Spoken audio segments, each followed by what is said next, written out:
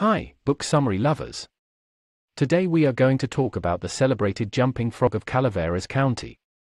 This is a short story by Mark Twain in which Simon Wheeler recounts the story of Jim Smiley and his trained frog. Mark Twain, who had made his living as a Mississippi steamboat pilot before the Civil War and had gone on to be a printer, a journalist, and a sometime prospector, could hardly have imagined that his comic tale The Celebrated Jumping Frog of Calaveras County, which appeared originally under the more modest title Jim Smiley and His Jumping Frog, was to change his life forever and establish him in a career which was to lead to him becoming one of America's greatest writers.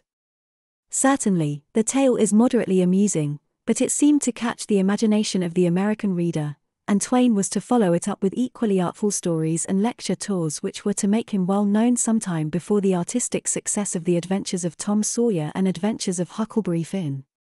Part of the reason for the success of the story lies in its moderation, and its seeming lack of artfulness.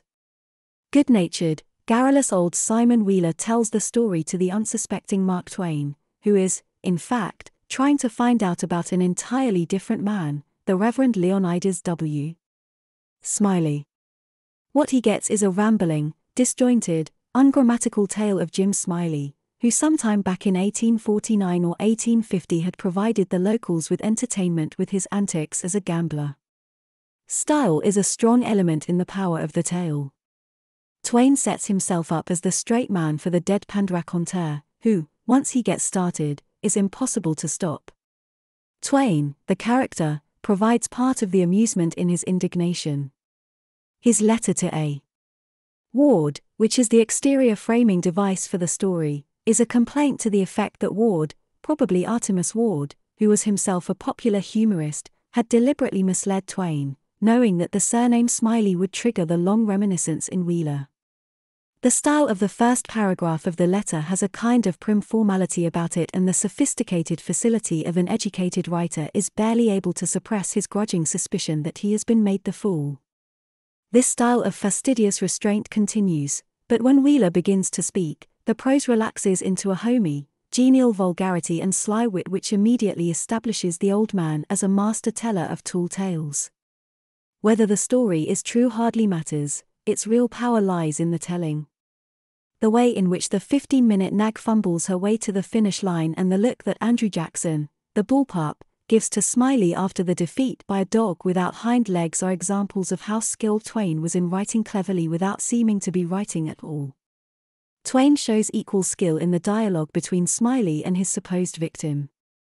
The repetitions, the grammatical errors, the misspellings to indicate accent, and the wary rejoinders have seamlessness about them which gives them an air of authenticity, of improvisational vivacity, which is part of Twain's charm as a comic writer. The story's success lies in Twain's ability to make it sound like the real thing, the loose tongued babble of an old man who has caught another innocent fellow by the ear. Twain, the victim, twice bitten, once by Ward and once by Smiley's narrator, Simon Wheeler, can only get away, if good naturedly, by running for cover.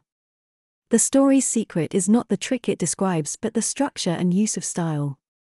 Beyond its technical cleverness, however, the popularity of the story lay in large part in the fact that Twain refrains from patronizing his unlettered inhabitants of Calaveras County.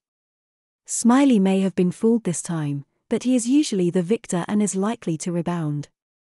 His proposed victim is to be congratulated on his quickness of mind. Simon Wheeler may be a bit long winded, but he tells a good story.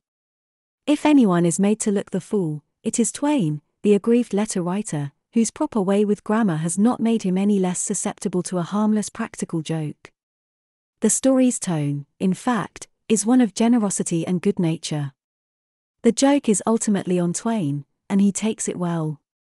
It was this kind of happy tomfoolery in the early stories, with the acceptance of rural America as a place not without its own kind of bucolic silliness and occasional quick wit, which readers and audiences liked about the young writer and performer.